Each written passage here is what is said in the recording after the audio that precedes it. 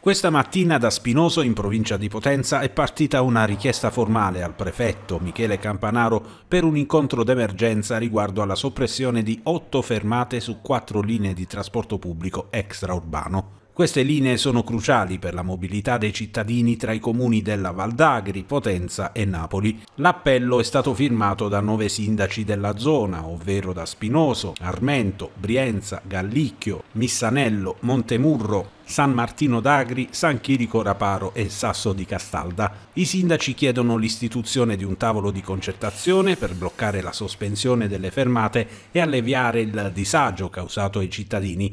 Questa richiesta arriva in un momento delicato per il trasporto pubblico della regione che è già in condizioni di emergenza e con servizi ridotti. La decisione di interrompere le fermate, dicono i sindaci, è stata presa dal Consorzio Trasporti Aziende Basilicata, il COTRAB, insieme all'impresa Sita Sud.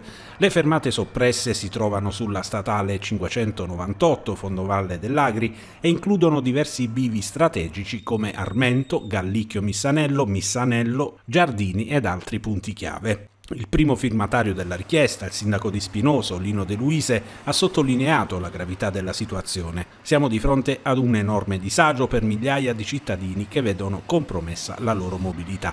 La soppressione delle fermate impedisce a studenti, lavoratori e turisti di raggiungere i nostri centri o di spostarsi da essi, con impatti negativi sul piano sociale, economico e della qualità della vita in tutta la Basilicata. La richiesta è conclusa con un appello alla convocazione di un tavolo urgentissimo di concertazione che includa tutti gli attori istituzionali, sindacati e gestori del servizio pubblico.